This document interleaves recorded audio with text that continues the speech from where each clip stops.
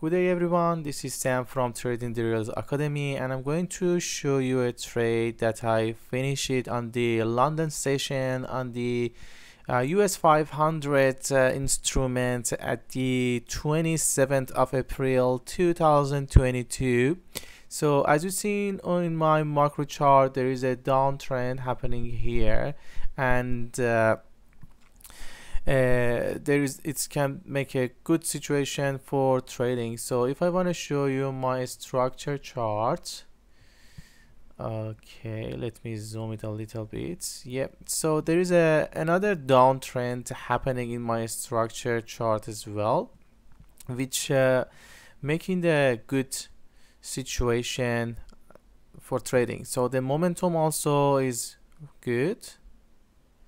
So the first algo if we wanted to pass it the first algo which is the pattern in the structure. So we got a good pattern downtrend happening. So the for the first algo the pattern we put 100 and it's passed. And also for the news there is not not many news happening. So we can just oops wait. Hold on a second.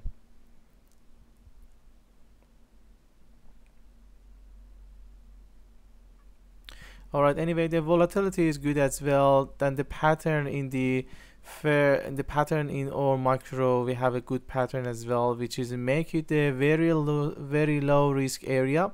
So the first algo which is the uh, pattern in a structure is passed. The second one the momentum is passed.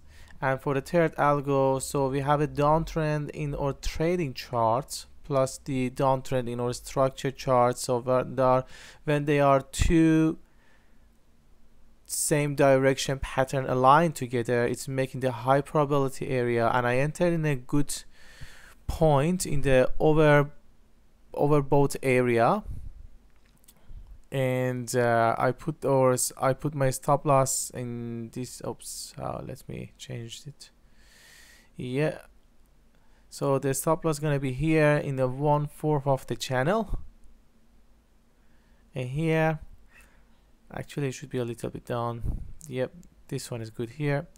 And uh, I enter with the two position. The first TP I put it in here is passed is ticked and the second one touched as well.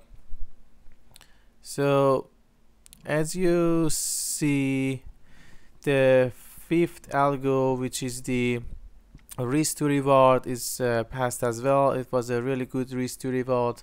And for the entry signal it's confirmed and we got the entry signal as well. So uh, yeah that's it. Thanks for watching. Hope you have a good trading